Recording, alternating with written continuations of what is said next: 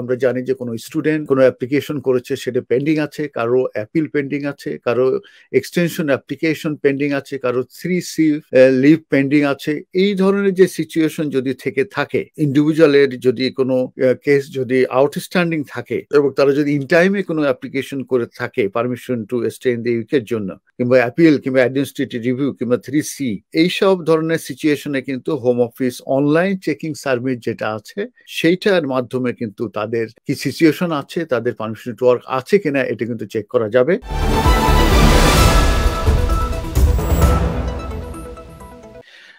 আজকে একটা important update দেব, সেটা হচ্ছে এমপ্লয়ারদের জন্য যে এমপ্লয়াররা কীভাবে আপনার পারমিশন টু ওয়ার্ক যে চেকিং আছে, সেটা কীভাবে তারা কন্ডাক্ট করবেন এবং সেটা যদি না করেন, তাহলে তাদের কনসিকুয়েন্স কি? এই ব্যাপার নিয়ে আপনাদের সঙ্গে আজকে আমার নলেজ শেয়ার করব। প্রথমে আমি যে কনসিকুয়েন্স যেটা কি, যদি কোনো এমপ্লয়ার যদি কোনো যদি কোনো ওভারসিজ কোনো স্টাফকে যদি তারা এমপ্লয়েড করে, তখন কিন্তু তাদের কিছু রেসপন্সিবিলিটি থাকে। এবং সেগুলো যদি কমপ্লায়েন্স করতে ব্যর্থ হয় এবং যদি যদি দেখা যায় ইউকে বর্ডার এজেন্সি যখন ইনফোর্সমেন্ট ইউটি এসে যখন দেখবে যে তাদের পারমিশন টু ওয়ার্ক নাই কিংবা তারা যদি ব্রিজ করে ফেলে, তাহলে কিন্তু তাদের যে কনসিকুয়েন্সগুলো হবে সেটাই আমি আগে বলে শুরু করছি। এটা হচ্ছে একটা কমপ্লায়েন্ট যেটা আছে রাইট টু ওয়ার্ক চেক যেটা আছে, এটা কিন্তু essential for every each and every এমপ্লয়ারের এটা কিন্তু এমপ্লয়ারে কিন্তু চেক করতে হবে। যারা ব্রিটিশ না এবং যারা যারা ব্রিটিশ এবং আইরিশ, এই দুইটা সিটিজেন বাদে আর যারাই কাজ করবে তাদের কিন্তু আপনার পারমিশন টু ওয়ার্ক আছে কিনা। চেকিং যে সিস্টেম সেটা কিন্তু অবশ্যই কমপ্লায়েন্স করতে হবে। প্রথম হচ্ছে যদি এতে কমপ্লায়েন্স না করে, তাদের কিন্তু তাদের রিপুটেশন ড্যামেজ হবে। নাম্বার ওয়ান নাম্বার টু হচ্ছে তাদের যদি স্পন্সর লাইসেন্স থাকে, সেই স্পন্সর লাইসেন্স কিন্তু তাদের ক্যান্সেল হয়ে যেতে পারে। এবং তারা এই স্পন্সর লাইসেন্সের যে টার্মস এন্ড কন্ডিশন যদি তারা ব্রিচ করে থাকে, তাহলে কিন্তু ক্রিমিনাল কনভিকশন হতে পারে। আর মেনলি যেটা সেটা হচ্ছে সিভিল পেনাল্টি হয়ে থাকে up to twenty thousand for each illegal worker twenty thousand কিন্তু একজন ইলিগাল ওয়ার্কারের জন্য কিন্তু ফাইন হবে। অতএব আমাদের কমিউনিটিতে যারা রেস্টুরেন্ট চালাচ্ছেন, যারা বোচার শপ চালাচ্ছেন, যারা ক্যাশ এন্ড ক্যারি চালাচ্ছেন এবং সলিসিটার প্র্যাকটিস অ্যাকাউন্টের প্র্যাকটিস যে কোনো এমপ্লয়ার তারা অবশ্যই অবশ্যই আপনারা এই এমপ্লয়ার যে চেকিং যে রেসপন্সিবিলিটি যে ডিউটি আছে, সেটা কিন্তু অবশ্যই আপনারা এটা পালন করবেন। তারা কিন্তু একজন যদি ইলিগাল ওয়ার্কার আপনার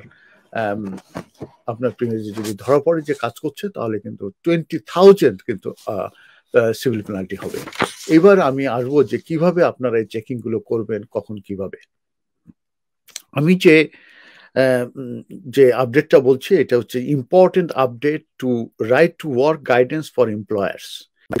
এবং এটা ইফেক্টিভ হয়েছে কিন্তু twenty eighth of February twenty twenty থ্রিতে কিন্তু এই গাইডেন্সটা কিন্তু ইফেক্টিভ হয়েছে আপডেটেড হয়েছে। তো এই যে গাইডেন্স সেই আপডেটে বলা হয়েছে যে হোম অফিস যে রাইট টু ওয়ার্ক চেক আছে সেটির ব্যাপারে খুবই গুরুত্ব আরোপ করছে এবং তারা যেসব এমপ্লয়ার আছে তাদের কাছে আশা করছে যে তারা এই যে রাইট টু চেক এটা তারা কমপ্লায়েন্স করবে। এই যে right to conduct of compliance right to work যেটা আছে, এইটা যদি কেউ করে থাকে, তাহলে সে স্টাবলিশড করতে পারবে যে অ্যাটলিস্ট স্ট্যাটুরি এক্সকিউজ সে পাবে এই liability for a civil penalty যদি সে এই চেকিং যে সিস্টেম আছে ওয়ার্ক চেকিং যে এই গাইডেন্সে যে অ্যাডভাইস দেওয়া হচ্ছে, এটা যদি কমপ্লায়েন্স করে থাকে, তাহলে কিন্তু সে স্ট্যাটুরি এক্সকিউজ পাবে against liability for a civil penalty সেখান থেকে সিভিল পেনাল্টি কিন্তু সে বিশ হাজার পাউন্ড কিন্তু বাঁচতে পারে। এখন আমি প্রথমে আসছি যে use of ID service providers IDPS এখানে আইডেন্টিটি ডকুমেন্ট ভ্যালিডেশন টেকনোলজি আছে এবং আইডেন্টিটি সার্ভিস প্রোভাইডস আইডিএসপিএস আছে যেটা সাপোর্ট করে ম্যানুয়াল ডকুমেন্ট বেসড এবং Home Office online checking service right to work check তো আমি যে দুটা আইডি সার্ভিসের কথা বললাম, এইটার মাধ্যমে আপনারা আইডি চেক করতে পারেন। এরপরে আছে যে আমরা জানি যে কোনো স্টুডেন্ট কোনো অ্যাপ্লিকেশন করেছে, সেটা পেন্ডিং আছে, কারও অ্যাপিল পেন্ডিং আছে, কারও এক্সটেনশন অ্যাপ্লিকেশন পেন্ডিং আছে, কারও থ্রি সি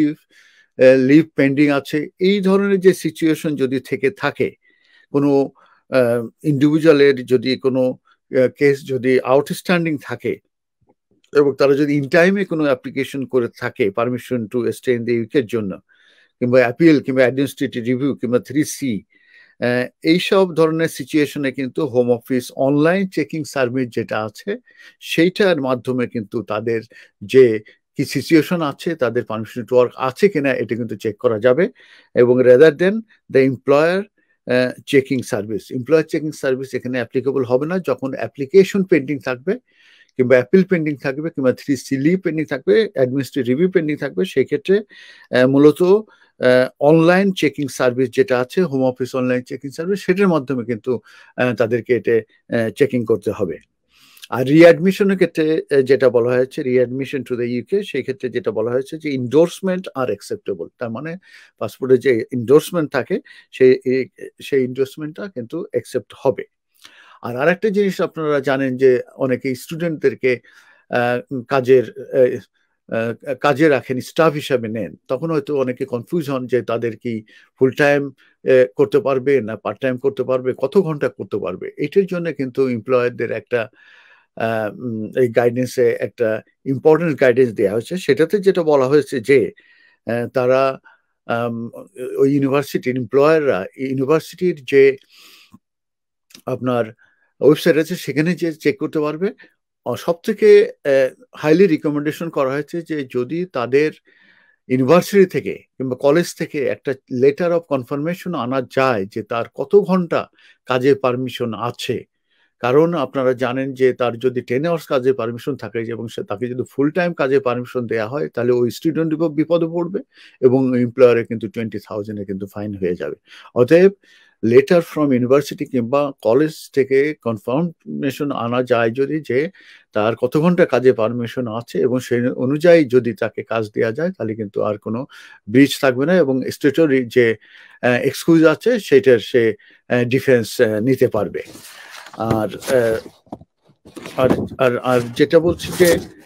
বায়োমেট্রিক কার্ড যেটা, যেগুলো আছে, যে শর্ট ডেটেড বায়োমেট্রিক কার্ড নিয়ে আসলে কনফিউজ হওয়ার কিছু নাই। আমরা এর আগেও আলোচনা করেছি যে thirty first of December twenty twenty twenty ফোরে কিন্তু এই কার্ড আর এরপরে যে আর কিন্তু কার্ড থাকবে না। অতএব কারও যদি ইনডিফিনিট লিফট রিমেন ইন দ্য ইউকে থাকে, তারপরেও কিন্তু তার কার্ডের মেয়াদ থাকবে thirty first of December twenty twenty four এটা দেখে কিন্তু কোনো এমপ্লয়ার কনফিউশন হওয়ার দরকার নেই, কারণ এই beyond thirty first of December twenty twenty ফোরের পরে যে কিন্তু আর বায়োমেট্রিক কার্ড থাকবে না। এবং আমি যে কনসিকুয়েন্স যেটা পানিশমেন্ট হবে সেগুলো কিন্তু আমি প্রথমে বলে দিয়েছিলাম, তারপরে আমি বলছি যে যে কোনো একজন ইনলিগাল ওয়ার্কার টোয়েন্টি থাউজেন্ড সিমেন্ট প্ল্যান্টটি কিন্তু অবধারিত এবং এবং যাদের স্পন্সরশিপ লাইসেন্স আছে, সেই স্পন্সর লাইসেন্স কিন্তু ক্যান্সেল হয়ে যাবে এবং যদি সিরিয়াস ব্রিচ হয়, সেক্ষেত্রে কিন্তু তাদের ক্রিমিনাল কনভিকশন হওয়ার সম্ভাবনা থাকবে। অতএব আমাদের কমিউনিটি যারা রেস্টুরেন্টের গভর্নর আছেন, যারা ক্যাশ অ্যান্ড ক্যারি মালিক আছেন, যারা সেলুনের মালিক আছেন, যারা বুচার শপের মালিক আছেন, তাদেরকে আমি রিকোয়েস্ট করব যে আপনারা যে কোনো ওভারসিজ স্টাফকে আপনাদের জব দেওয়ার আগে আপনারা যে এমপ্লয়ার্স যে চেকিং সিস্টেম আছে, সেটির মাধ্যমে আপনারা চেকিং করে সেটি কমপ্লায়েন্স করে এবং সেটা কিন্তু আপনার রেকর্ডে রাখবেন। তাহলে কিন্তু আপনারা স্ট্যাটরি এক্সকিউজ নিতে পারবেন এই সিভিল প্ল্যানটি থেকে।